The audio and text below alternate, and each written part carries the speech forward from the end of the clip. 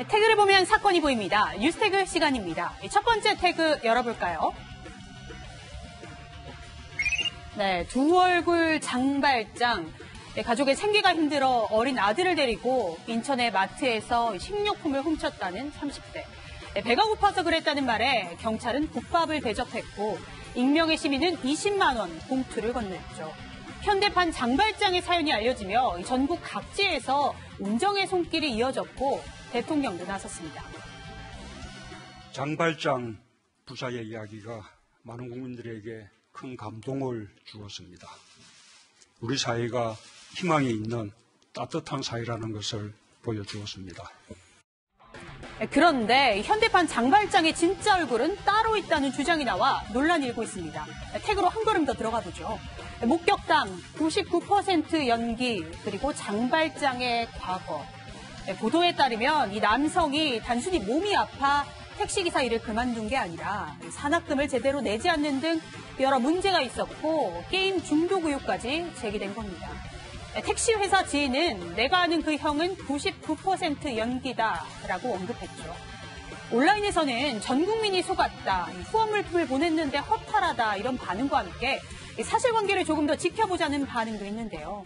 경찰은 일단 이 마트 주인이 처벌 의사를 밝히지 않아 입건은 되지 않았던 만큼 추가 조사는 하지 않을 방침입니다.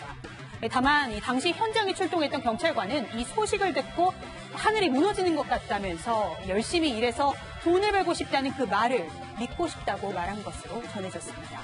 다음 뉴스테이로 넘어갑니다. 네, 자백의 순간 사진 한 장 보시죠. 살인 12 플러스 2, 강간 19, 미수 15. 누구의 메모일까요?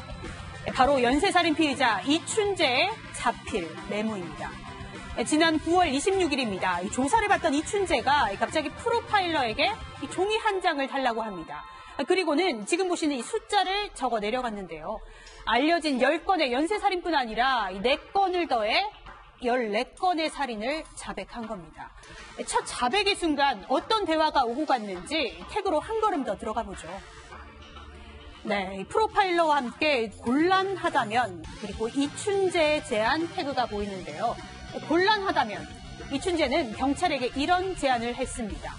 이춘재는 윤 씨가 범인으로 몰려 옥살이를 한이 8차 사건을 두고 곤란하다면 이야기하지 않을 수 있다고 말합니다. 치열한 심리 싸움이 예상되는데요. 프로파일러의 답변이 궁금한데 다시 태그로 살펴보죠.